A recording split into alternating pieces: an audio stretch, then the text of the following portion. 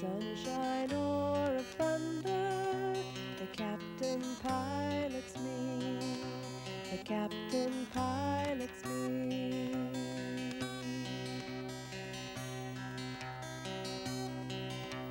Treasure, treasure, his chest is full of treasure, with lessons fine as gold, of love that has no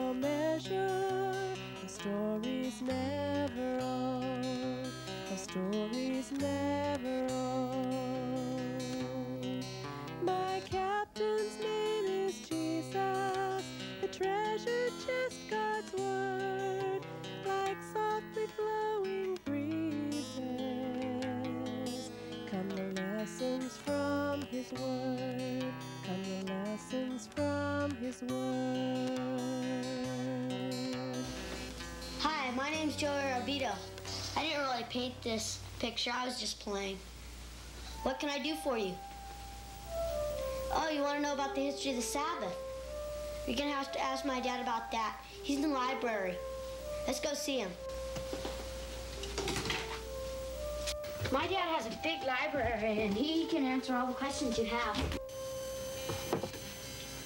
Oh, hi. What can I do for you? This little girl wants to know about the history of the Sabbath. Well, come on in. I'll answer your questions for you. This is one of my favorite little books. It's called The Sabbath of God Through the Centuries by Elder Coldheart.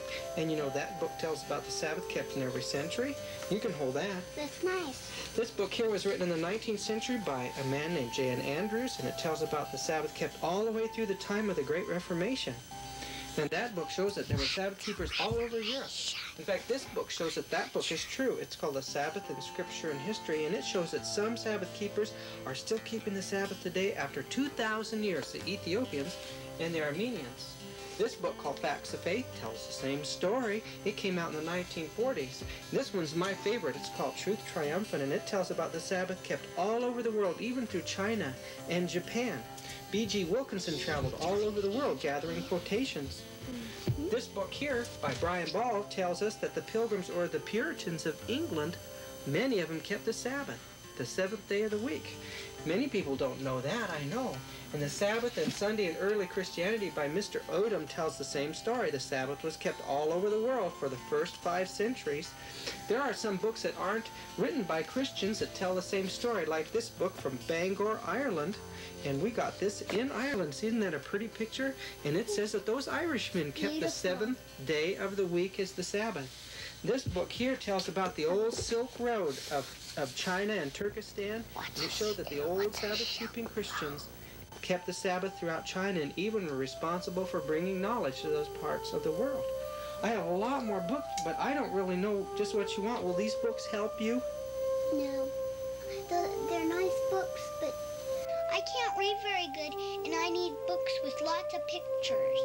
Well, I have some slides and some movies. I have some books that have pictures in them, and I can paint you some pictures too while I tell you the story. Do you think that that'll help you to understand it better?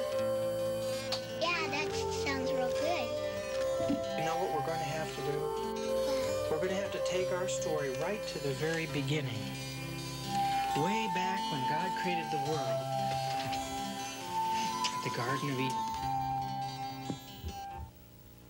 Now, Adel, just imagine waking up in the morning in the midst of a beautiful tropical garden with the mist rising from the floor of the Oh, forest. how And all around you, you can hear water dripping. You hear a bubbling stream right nearby. You smell the fragrance of wonderful flowers. Every kind of color and size and smell is all around you.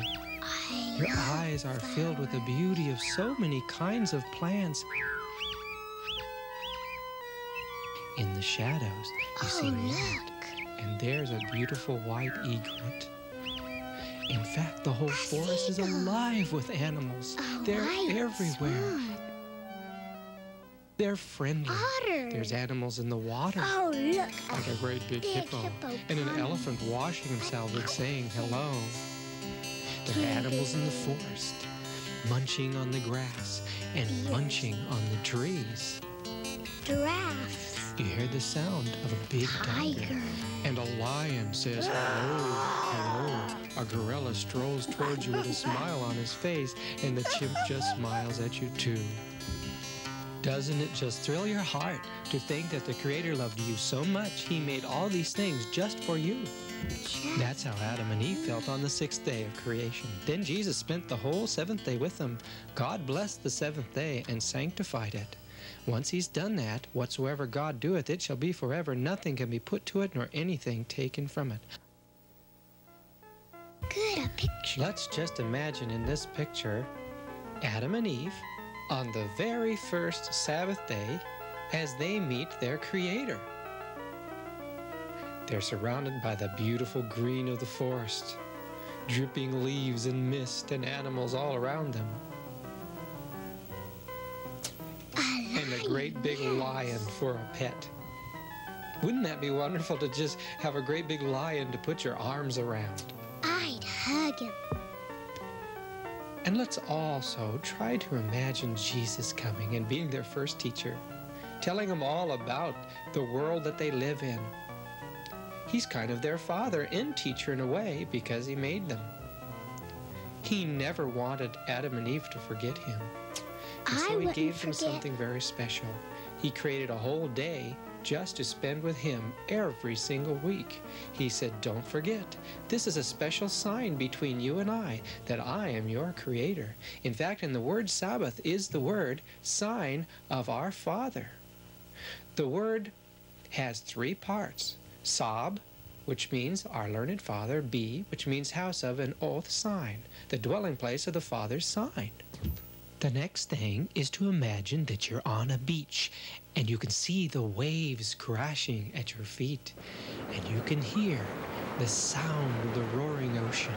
Feel the sand beneath your feet. Do you know that that ocean is what's left of the flood of Noah? Can you imagine how lonely that little family must have felt? Only eight people and nobody else in the whole world? Noah and his family had the same religion as Adam and Eve, and Methuselah and Enoch. Paint me another picture. Okay, I'll paint you a picture of Noah's Ark. Let's have a blue sky. Everything must have been green because there was so much water everywhere. Don't you think the animals were happy to run from the ark and roll in the grass? Yeah. I think Noah was happy too to get out of that ark. That's a big ark. The ark mustn't have smelt very good. Although they stayed in it for a while, I think that they probably looked around for something else to live in as soon as possible. There weren't many big trees, so they couldn't build a nice house. You know what I think? I think that they found a nice, great big cozy cave to stay in, someplace warm to come to in the evening when they were done each day with their work, in the garden and with their animals. How do you know that? oh, you're rubbing paint on your lip.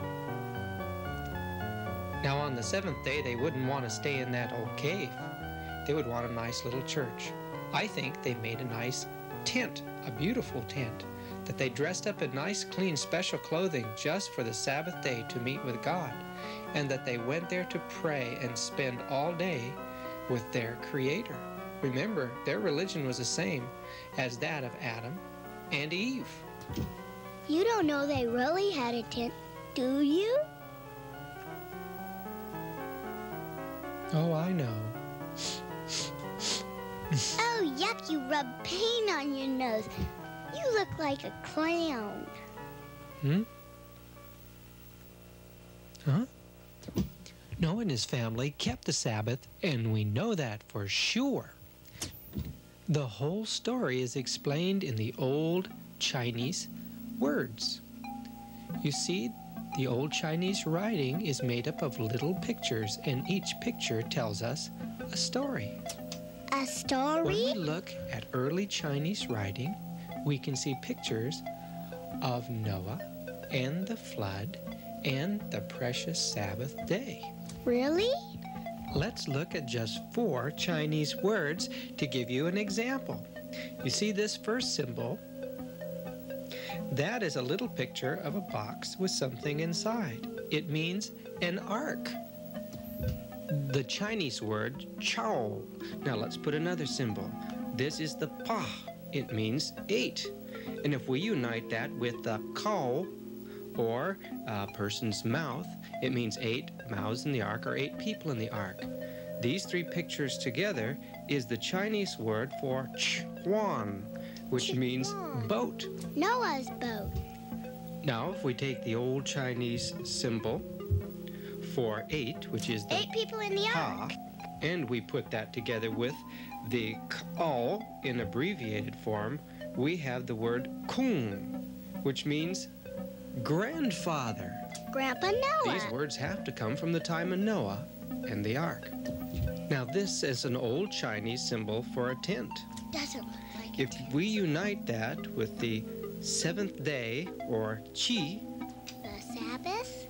And then unite those two symbols with the old Chinese word for being in clean dress or civil, we have the Chinese word qian, which reads godliness.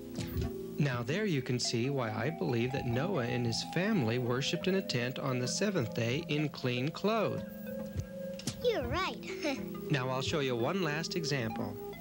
Let's draw our picture of the tent again.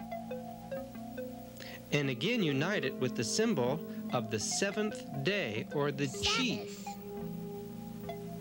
Looks like a little T, doesn't it? Kind of. Underneath the seventh, we'll put a little picture of two people standing on the ground praying or worshiping with uplifted hands. Altogether, it is the Chinese word humble, su. Now, let's imagine ourselves up on Mount Sinai with Moses. Okay. We're surrounded by dark clouds. We see the flash of lightning, the roll of thunder in the background. We can see the Creator writing with his own finger on solid rock the Ten Commandment hard. law. Remember, whatsoever God doeth, it shall be forever. That Ten Commandments was written on rock with the finger of God as a sign that it should never, ever be forgotten, that it was eternal. I Moses had a special work of bringing that Ten Commandment law to the people and putting it in their sanctuary and reading it every Sabbath so that they would not forget it. The fourth commandment says to remember the seventh day Sabbath to keep it holy. You see, it was the same Creator that gave the Sabbath to Adam and Eve in the Garden of Eden. Jesus. As the ancient kings of the East used little carved stones to press their special sign into clay, the Creator put his special sign of remembrance, remember the Sabbath day to keep it holy, into his law. God says, It is a sign between me and you that you may know that I am the Lord that does sanctify you, or make your heart clean and pure and kind. Because we are sanctified through the body of Jesus, the seventh day Sabbath is the special sign of Jesus. For a Oh. perpetual covenant, it is a sign between me and the children of Israel forever and ever. Now, when this cylinder seal, like God's law, is pushed into soft clay, like our hearts, it makes a picture or a sign. And just so, when God forgives our sins and puts His law into our hearts, His special seventh day Sabbath will be seen by everyone as a special sign that we belong to Jesus, the real Creator. I want to belong to A thousand years later, God's people were forgetting Him and His That's Sabbath. Sad. And so God used the cruel Assyrians and the powerful and wicked Babylonians to punish and conquer them. Millions were made slaves and prisoners. Oh. These prisoners were scattered among the many nations of the East.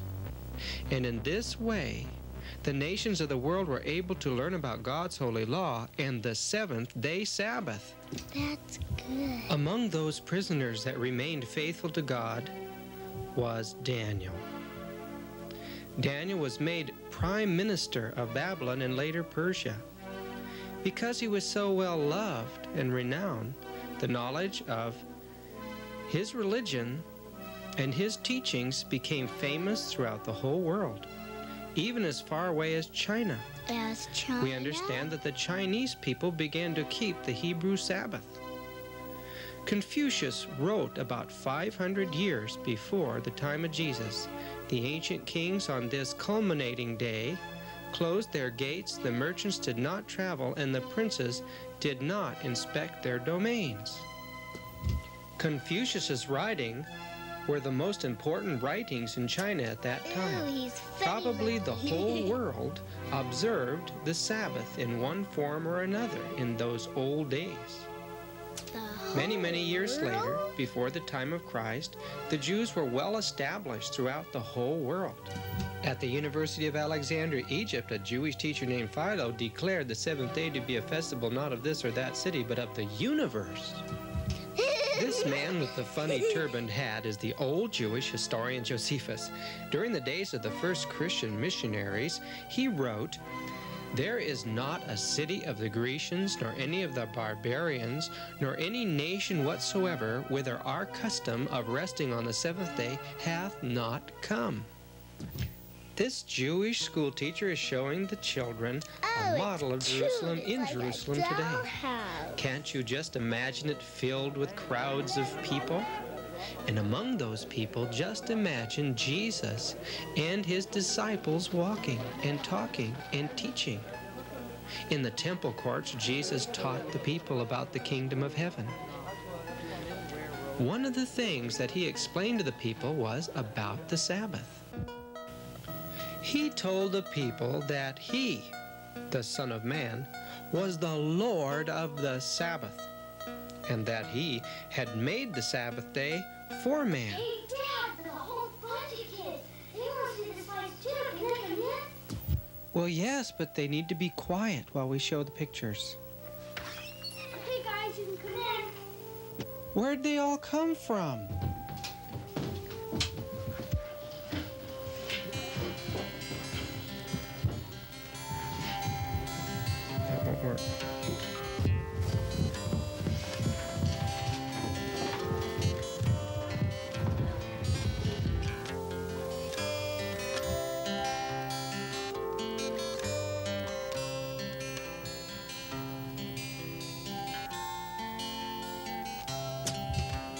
The first picture I have to show you is a picture of an ancient city not far from Jerusalem called Pella. This was the city where the Christian Jews fled when Jerusalem was destroyed. Eusebius, the famous historian, wrote, Then the spiritual seed of Abraham fled to Pella on the other side of Jordan, where they found a safe place of refuge and could serve their master and keep his Sabbath. So the early Christian Jews kept the seventh day Sabbath. They met in the synagogue with the Jewish people. The disciples went to the Jews first all over the world, and they were already keeping the Sabbath. So we know that the early Christians kept the Sabbath. Not Sunday. They continued to populate the beautiful cities in a place called Decapolis, or the Ten Cities. These cities were very wealthy, Oh. and the Christians had many wonderful churches there. There are pagan temples too, but in this city called Jerash is a beautiful church called the Church of Theodorus. This is the court of that church and the old laver that's set out front of it. I found this symbol on one of the streets. It's a symbol of the Christians. You see the Alpha and the Omega and two flowers near the cross. Remember, Josephus wrote, There's not any city of the Grecians nor the barbarians nor any nation whatsoever whither our custom of resting on the seventh day hath not come. That's everywhere. We also read from another historian from the apostles' time until a Council of Laodicea, which was about the year 364, the holy observance of the Jews' Sabbath continued as may be proved out by many authors, yea, notwithstanding the decree of the council against it. The Christians later migrated up to northern Syria around a beautiful area called Antioch. This area had been the missionary outpost for Peter, Paul, and Barnabas. Today it's a beautiful city. There on a hillside overlooking the city is the old church that Peter first preached in there. Really? Antioch is where they were first called Christians. It was the first great missionary outpost. The Gentile Christians observed also the Sabbath.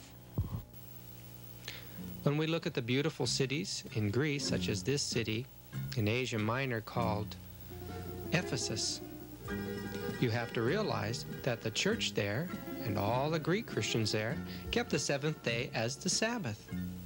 This is the ruins of Laodicea. Not a whole lot of it is left today, but we know that the Gentile Christians there, along with the Jews, kept the seventh day Sabbath. This is the ruins of Old Corinth. Corinth again was a center of Christianity where the seventh day Sabbath was kept. For although almost all the churches throughout the world celebrate the sacred mysteries, the Lord's Supper, on the Sabbath of every week, yet the Christians of Alexandria and at Rome, on account of some ancient tradition, refuse to do this. The word Sabbath here can only refer to Saturday. It should be observed that Sunday is never called the Sabbath by the ancient fathers and historians. This is the old city of Edessa, now called Urfa, in Turkey. In this city, the Christians once had a great university that sent physicians and missionaries out all over the world. Just south of Antioch was a civilization of 700 cities that belonged to just the Christians. These cities are called the silent cities of Syria today. The homes are made of great big stones from 2 to 20 tons put together that without any mortar. These people were very wealthy from the business and trade of the old Silk Road that went all the way through China and into Rome. They must have been rich. Their tithe money went to build beautiful churches and support their ministry and missionaries that were as far away as Japan, Japan, Russia, Russia, China, China, India, India, all through Asia, through Asia, Africa, and the Middle East. and the Middle In the third century, one of the great teachers of Antioch, Lucian, gathered together the Hebrew Bible and the books of the New Testament in Greek and put together a beautiful Bible that is now called the Received Text. It was translated into Syrian, and that Bible is called the Peshitta and was read by all the people of the East. That Bible later became the King James Bible that we read today. I have one of them. These Syrians made the best buildings in the world. They were masters in what we call architecture, and their schools taught the young people to bring their knowledge of language and architecture everywhere. Where's that? In Constantinople, Looks like this. in the 6th century, Justinian wanted to build a great church. That church was called St. Sophia. He had to get architects from Syria that were Sabbath keeping Christians to build this most beautiful church ever built. It took a thousand years before the people in the rest of the world were able to build a dome as big as that. The people of Constantinople and almost everywhere assembled together on the Sabbath as well as on the first day of the week, which custom is never observed at Rome or at Alexandria. See, still, 600 years after Christ, there was one center where they did not obey God's law. They should have kept the Sabbath. But in Persia, we read, the hills of Persia and the valleys of the Tigris and Euphrates re-echoed their songs of praise. They reaped their harvests and paid their tithes. They repaired to their churches on the Sabbath day for the worship of God. God's people were still keeping the seventh day Sabbath. Justinian made a terrible law that all in the Roman world had to convert to the false religion of Rome. That's terrible. Now let's go along the old Silk Road through Asia That's beautiful. to what we call Central Asia. Here is a beautiful city beneath the mountains of Asia called Bukhara. And this city here is called Samarkand. In these centers were once Sabbath keeping Christians that we call uh, Nestorians. These Nestorians brought the knowledge of language, they brought the knowledge of music and art and architecture to the people of Asia. Those Asians thought that they were very special people and almost worshiped these Nestorian Sabbath keeping Christians. Look at some of the beautiful architecture that arose in the Muslim world as a result of the architectural teachings. In China, there is found today old cities where buried treasures of manuscripts um, with portions of the Bible have been discovered. In one city, Kocho, this little mural was found on one of the walls. It shows a picture of a Nestorian teaching Asian people, probably teaching them about God and about medicine and about architecture and about how to write their language. The Nestorians eat no pork and keep the Sabbath. They believe in neither auricular confession nor purgatory. They were not connected with the Roman Church. They could claim their ancestry way back to the time of the apostles, hundreds of years before. Like the disciples. Sabbath keeping Christians had been in China for hundreds and hundreds of years. They were largely responsible for the greatest period of Chinese culture in the 7th and 8th centuries. In 781 AD, the famous Nestorian stone monument was erected by order of the emperor just outside of the grand capital city of Chang'an, China. In 1900 Chinese words, it describes the gospel and the grand missionary work of the Sabbath keeping Christianity of the East. It also mentions the Sabbath. Listen. On the seventh day, we offer sacrifices after having purified our hearts and received absolution for our sins. This religion, so perfect and so excellent, is difficult to name, but it enlightens darkness by its brilliant precepts. Isn't that a wonderful description of the religion that Jesus gave to his people in the Garden of Eden thousands of years before? Yes. The Chinese were copied by the Japanese, which was just an extension of their empire. And so we find a duplicate of that stone erected in Japan today on Mount Koya. In 1837, the Sabbath came back to China in a movement called the Taiping Revolution. The Taipings, when asked why they observed the seventh day Sabbath, replied that it was first because the Bible taught it, and second because their ancestors observed it as a day of worship. One of the disciples of Jesus, St. Thomas, brought the true Christian religion to India. And there the Christians were called through the centuries the St. Thomas Christians. For hundreds and hundreds of years until the 17th century, St. Thomas Christians continued to keep the seventh day Sabbath. Widespread and enduring was the observance of the seventh day Sabbath among the believers of the Church of the East and the St. Thomas Christians of India. While the St. Thomas Christians still have many beautiful churches in India, they have forgotten the Sabbath from the 17th century when the Roman Catholic Church set up instruments of torture at Goa.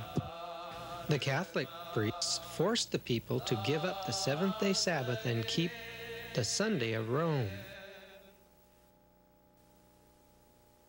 Levi Matthew began the church in Egypt. This was called the Coptic Christian Church, and they kept the Sabbath for 400 years. The Ethiopian eunuch that Philip baptized went back to Ethiopia, and there he started a wonderful Christian church that has been keeping the Sabbath for 2,000 years. They actually say that Saturday is the greater Sabbath and Sunday's a lesser Sabbath. One of the places where Andrew and some of the other apostles went was north into an area called Armenia. It was a wonderful kingdom around the mountain of Ararat where the Ark of Noah had landed. These people had an ancient tradition of respecting the true religion. There were thousands and thousands of Jews in the cities of Armenia, and it was the first nation to officially accept the Sabbath keeping Christianity of the apostles. These beautiful old churches, a thousand years old, give us some idea of the high culture of these Armenian Christians. And although, like other churches, they've forgotten much of the early apostolic Christianity, they still have services on Saturday afternoon, still honoring the seventh day Sabbath after 1900 years. In Russia, the Sabbath was kept by the early Christians as well. That church was called the Church of Muscovy. Sabbath keepers were called the Subbotniki. They keep Saturday holy. They have solemn service on Saturdays. The Russian King Vladimir built a beautiful church called St. Sophia in the old capital of Russia called Kiev. Two missionaries, Cyril and Methodius, came from Asia Minor and brought these people an alphabet and their first book, which was the Bible. The churches of the East from earliest days had sanctified Saturday as the Sabbath. In the 9th century, Pope Nicholas wrote to the king of Bulgaria named Boris and told him, You must stop keeping the Sabbath. Bulgaria, in the early season of its evangelization, had been taught that no work should be performed on the Sabbath. There were many other Christians in Bulgaria that didn't belong to the state church. They had different names like Pasagini and Paulicians and Waldenses. The papal author Bonacursus wrote the following against the Pasagini. Not a few, he said, but many know what are the errors of those people who are called Pasagini. First, they teach that we should obey the Sabbath. Furthermore, to increase their error, they condemn and reject the church fathers and the whole Roman Church. This is the city of Prague in Bohemia. Many of the Bohemians kept the seventh day Sabbath. There were many Waldenses in Bohemia, and French Sabbath-keeping Christians called Albigenses. These laid the foundation for the great Bohemian Reformation, which followed the teachings of John Huss, who was burned at the stake. The Bohemian Christians rose up against the Roman Church, and many armies were sent out to fight them. But as long as they were truly faithful to God, they could not be conquered. In 1310, 200 years before Luther's thesis, the Bohemian Brethren constituted one-fourth of the population of Bohemia, and that they were in touch with the Waldenses who abounded in Austria, Lombardy, Bohemia, North Germany, Thuringia, Brandenburg, and Moravia. Erasmus pointed out how strictly Bohemian Waldenses kept the seventh-day Sabbath. Who's Erasmus? Erasmus was one of the greatest historians and writers of his age. Erasmus testifies that even as late as about 1500, these Bohemians not only kept the seventh day scrupulously, but also were called Sabbatarians. There were still a few Sabbatarians left 300 years later. We read their history from 1635 to 1867 as thus described by Adolf Dux. The condition of the Sabbatarians was dreadful. Their books and writings had to be delivered to the Karlsburg consistory to become the spoil of flames. How very sad. Yes. God's true people are always persecuted, but when they remain faithful, God can take care of them and use them. This is a statue of General Ziska, who led the Sabbath-keeping Bohemian armies against the armies of Rome. Although he was blind, he never lost a battle. If we're faithful to God's law, He'll take care of us too. Many hundreds of miles northeast of Bohemia, way up in the northern sea, are the beautiful British Isles. The air is moist and there's so much rain there that everything's green all the time, and so they're called the Emerald Isles. In this beautiful and fertile country, God had established a church way back at the time of the apostles. Not too long ago, people in England had forgotten about that early Christian church of the Celtic people. But in old castles, monasteries, That's and dark and libraries in. Europe and England, they began to find old manuscripts and they found that these old Celtic Sabbath keeping Christians had preserved civilization and education for the rest of the world when Europe became Catholic and barbaric and people couldn't even read or write. Couldn't read. Way out in Ireland, the people used to live in these old honeybee type of houses. A British boy, Patrick, was kidnapped by the Irish as a slave. After escaping, he came back as a missionary. In the 5th century, St. Patrick and his fellow monks conquered Irish paganism and established hundreds of schools and churches with thousands of students. Remains of these old monasteries are all over Ireland today. It seems to have been the custom in the Celtic churches of early times in Ireland as well as Scotland to keep Saturday, the Jewish Sabbath, as a day of rest from labor. They obeyed the fourth commandment literally upon the seventh day of the week. Like Jesus did. They held that Saturday was properly the Sabbath on which they abstained from work. I sure love those old stone buildings. One of the graduates from one of Patrick's schools in Ireland was named Columba. He went to Scotland, and there he was a missionary to the pagan Picts. He started many schools there, and one of the best known was on a little island called Iona. It was a fertile island, and the students studied for 18 years to learn languages and how to grow gardens. Many of the kings of Europe are buried on the sacred soil of Iona today. This may be what Iona looked like at one time. Don't you think their little houses look kind of like igloos? Traders came from all over Europe to meet these monks. Columba, having continued his labors in Scotland 34 years, clearly and openly foretold his own death, and on Saturday, the 9th of June, said to his disciple Dermot, This day is called the Sabbath, that is the day of rest, and will it truly be to me, for it will put an end to my labors. He must have loved the Sabbath. The editor of the best biography of Columba's says in a footnote, Our Saturday, the custom to call the Lord's Day Sabbath, did not commence until a thousand years later.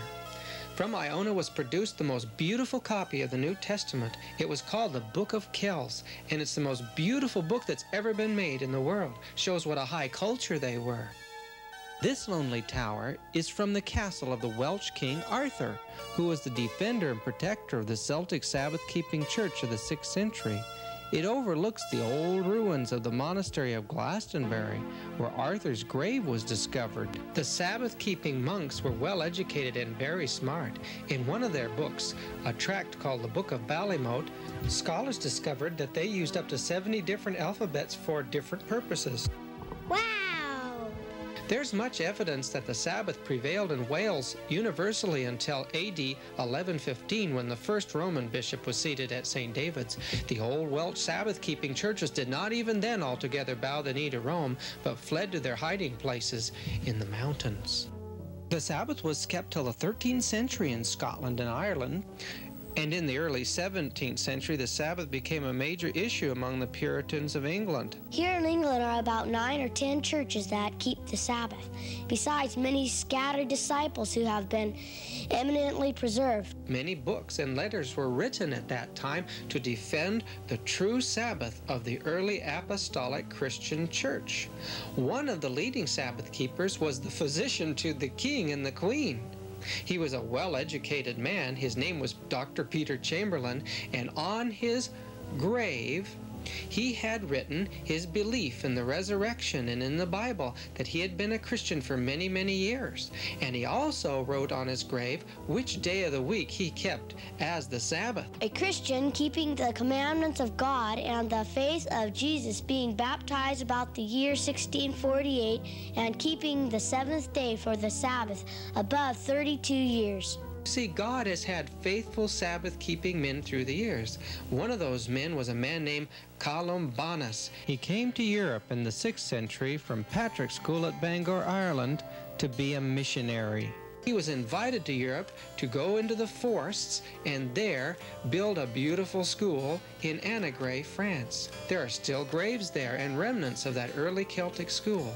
They brought with them the classical education that had been lost, and they established schools all through the snowy mountains and in the valleys of Europe. Europe had degenerated into a place where few people could even write their own name. These Celtic monks brought education. They laid the foundation for modern civilization in the Western world. How this beautiful, church is in the center in Switzerland called uh, St. Gallen. There, one of the there. Celtic monks, Gallus, established this college. There's a beautiful library there today, and among the books in the library are old Celtic manuscripts of the Old Latin or Itala Bible. That Bible was copied from the old manuscripts of Lucian. It's the same Bible as our King James Bible is today. Thousands of Celtic schools were established around the highways of Europe. It led to a great revival of knowledge, but the Roman Church didn't like it. She chased the Celtic monks away and sent her Benedictine monks in to take over the schools. The Roman Church likes to tell everybody that they were the ones that brought Christianity back to Europe, but it was really the Sabbath keeping Christians. Let's just pretend that My little boy Joey is an Irish monk. And Oh, he's going to write something like the old Irish men had to write with quill pens on animal skins. We'll use paper instead. Let's see how easily he can do it. It wasn't easy to make those beautiful, colorful, illuminated manuscripts. It took many years of hard work, and those Bibles were very, very precious. They had different sizes of pens and whole rooms where the monks would write. Those monks studied for many years to learn the languages of the Bible Hebrew, Latin, and Greek. Very good. Now, how would you like to copy a whole Bible like that? It would be very difficult, wouldn't it? After setting up schools in other parts of Europe, Columbanus, the Celtic teacher, came to Bobbio in northern Italy, and there he was given an area to build a beautiful school. That school and center is still to be seen today, although it's no longer Celtic. You see, they say that Columbanus had the ability to domesticate things like bears and other animals to use to plow the fields and clear the forests. In this way, he was able to build up schools right out of the forest with their bare hands. There, in the church in Bobbio, is to be found his grave. Columbanus was one of the greatest men that ever lived. He brought civilization and Christianity back to Europe. And like Columba of Scotland and Patrick of Ireland, I'll bet he kept the Sabbath day until the day that he died. By the end of the 13th century, the true Seventh day Sabbath had almost been entirely forgotten in the Eastern churches because of the cruel Turkish Muslim armies under a ruler named Tamerlane. They destroyed Christian churches throughout all of Asia and the Middle East. In Europe, cruel Roman Catholic rulers destroyed God's faithful Sabbath keeping people in Ireland and Scotland, all of Britain, and most all of Europe. This beautiful city is Albi, the capital of the Albigense Christians who kept the Sabbath in southern France. In one campaign, a million of them were destroyed together. How could they do that to those dear people? It was the practice generally of the Eastern churches and some churches of the West. For in the Church of Milan, it seems the Saturday was held in a fair esteem. They came together on the Sabbath day to worship Jesus Christ, the Lord of the Sabbath. 300 years after Jesus, St. Ambrose, the Bishop of Milan, was a faithful Sabbath keeping Christian. When he went south to Rome to visit his friend the bishop there, just to be polite, he'd go to church on Sunday.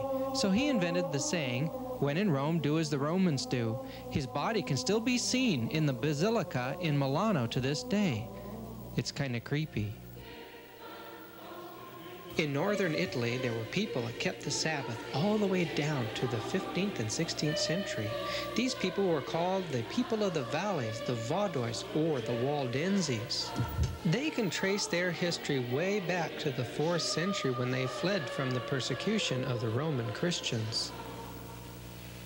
You could still see their little towns high in those mountains. Because they observed no other day of rest but the Sabbath days, they called them Insabbathas, as much as to say, as they observed no Sabbath. because they wouldn't go to church on Sunday. Let's just imagine that these Sabbath keeping Christians are fleeing with, from the Roman soldiers. They're taking their children and their carts and their horses, and they're fleeing together high into the mountains to a valley called the Pra, where there are some villages where they'll be taken care of. And then as the soldiers come, they have to flee. Maybe they'll go into a cave there to worship God on the Sabbath day. What would it be like to go into a cave on the Sabbath and know that the Roman soldiers are coming and that they may persecute you? This is a picture of a cave that I found in a museum in one of the Waldensian valleys. The pastors were called uncle or barba. They were educated men and they would teach the children. The children memorized their Bible so that they would never ever forget it. They were well educated children too. They studied for many, many long years. They even went to some of the great universities in Europe. Now, let's say the Roman soldiers come in and they grab the pastor. They say, You can't teach these things anymore. And they take him out and they put him to death or torture him. They grab the Bible and they tear the pages out of him. This Bible is no good. You can't read these books. And what will they do with the women? As they grab the women, they take the women out away from their families. Oh, and many families will never see those mamas again. The babies never see the mamas Poor again. They're taken away and taken off to a Catholic monastery or school where they're educated in the religion that their parents taught them to hate. If I was taken, I'd stay close to Jesus. Although they were persecuted for hundreds of years, they continued to educate missionaries. Their school was in the almost inaccessible solitude of a deep mountain gorge called Prado Tor. And their studies were severe and long continued. Many became pastor physicians doing medical missionary work. Often they posed as salesmen, and among the things they sold were little copies of the Bible that they read to the people. And so more and more churches were established throughout the valleys of Europe. Many times these pastors died. Many times the towns and the cities were destroyed, and the people wandered in the mountains. It was cold in those mountains. They were hungry in those mountains. And yet, even though they suffered, and even though they were sick, they counted it an honor to suffer for Jesus because Jesus has done so much and he suffered for us. Although those dear Sabbath keeping Waldenses had to suffer, they'll be in heaven, won't they? Yes. Many years later, after being chased out of their valleys, they came back, led by this pastor, Enrico Arnaud. And today, their churches can be seen in the valleys. But in the 16th century, they lost the Sabbath. How could they forget Jesus' day? It was largely forgotten in Europe because of a thousand years of Catholic persecutions. In the East, their churches became formal and faithless, forgetting the Sabbath. Most were absorbed into Islam and Buddhism. But when the great Protestant reformers arose in Europe 400 years ago, the historians tell us that there were still some Sabbath keepers left, a faithful remnant of the true church of the earliest times. Some have suffered torture because they would not rest when others kept Sunday, for they declared it to be the holiday and law of Antichrist. In 1664, a man named Stephen Mumford came to the United States from London, and he was a Sabbath keeping Christian. About 10 years later, in 1671, the Seventh day Baptist Church began. In 741, a Count Zinzendorf from Moravia came over to the United States with his group and started worshiping with a German group of Sabbath keepers in Bethlehem, Pennsylvania. In 1833, a Baptist minister by the name of William Miller began to preach that Jesus was coming soon. He was soon joined by other ministers in America and around the world. It was called the Great Advent Movement. A dear Seventh day Baptist lady named Rachel Oakes, a lady from Washington, New Hampshire, brought the Sabbath to the attention of an Adventist minister named Elder Frederick Wheeler. From that day on, more and more Adventists accepted the Seventh day Sabbath. An old Adventist sea captain, Joseph Bates, went to New Hampshire and studied with Pastor Wheeler and became convinced. Bates wrote an article in 1846 called The Seventh day Sabbath, a Perpetual Sign. Then Ellen White, an Adventist lady, had a vision in 1847. God showed her a beautiful place in heaven called the sanctuary. There she saw the Ten Commandments, and the seventh day Sabbath commandment had a halo around it. The Adventists learned that the vision in Revelation 12 is a picture story of Jesus' bride, the only true church. How Jesus has protected her through history from being destroyed by wicked kings and false teachings, and that now at the end of time, only those keeping all God's commandments and the seventh day Sabbath are truly the last remnant of the church of the apostles. Jesus, our high priest, wants to save everybody and take them home with him to heaven. But he can only save those who let him give them a clean, pure heart. If we will ask him to forgive our sins and come into our hearts, he will seal his Ten Commandments there with the seventh day Sabbath as a sign that we are truly part of his special remnant church. You see, it was part of Jesus' wonderful plan to save the people of all nations that his church Israel would teach everybody to worship him, the Creator, keep his holy law, and honor his special sign, the seventh day Sabbath. Isaiah 56, 6 and 7 says, Also the sons of the stranger that join themselves to the Lord to serve him, and to love the name of the Lord, and to be his servants, Every one that keepeth the Sabbath from polluting it and keepeth hold of my covenant, even them will I bring to my holy mountain. Jesus tells us through the old prophet Ezekiel about the wonderful covenant or agreement that he will make with his true people. A new heart also will I give you, and a new spirit will I put within you. And I will take away the stony heart out of your flesh, and I will give you a heart of flesh. And I will put my spirit within you, and cause you to walk in my statutes, and ye shall keep my judgment and do them. What Ezekiel says here is simply this. First, Jesus gives us a clean heart. Clean Then heart. he puts his Holy Spirit inside us. Inside? That Holy Spirit causes us to obey all God's commandments. Then we're holy and clean and pure and we're safe to bring to heaven to live with God and the angels. Wonderful. The special work of Christians today is to go to the people of the world and remind them that their own ancestors, which kept the seventh day holy, gave them their culture. Their own ancestors, in following God's sacred law, had laid the foundation of their own civilization. That they must be the repairs of the breach or restore. Remember the forgotten Sabbath commandment. We need to give back to the people the forgotten paths of their own Christian ancestors. Then Jesus can finally come to take them home. In Isaiah 58, verse 12, 13, and 14, we read about the last generations of true Christians. And they that shall be of thee shall build the old waste places. Thou shalt raise up the foundation of many generations, and thou shalt be called the repairer of the breach, the restorer of paths to dwell in. If thou turn away thy foot from the Sabbath, from doing thy pleasure on my holy day, and call the Sabbath a delight, the holy of the Lord honorable, and shall honor him, not doing thine own ways, nor finding thine own pleasures, nor speaking thine own words, then shalt thou delight thyself in the Lord, and I will cause thee to ride upon the high places of the earth, and feed thee with the heritage of Jacob thy father, for the mouth of the Lord has spoken it. When Jesus comes, he'll raise his faithful people from their musty graves, and with them will fly through the starry heavens to the glorious city. There we'll meet Noah and Moses and the disciples of Jesus and the Syrian missionaries of China and India, the Celtic monks and the Waldenses. Jesus will make us a whole new earth, and every Sabbath all people will come and worship before him.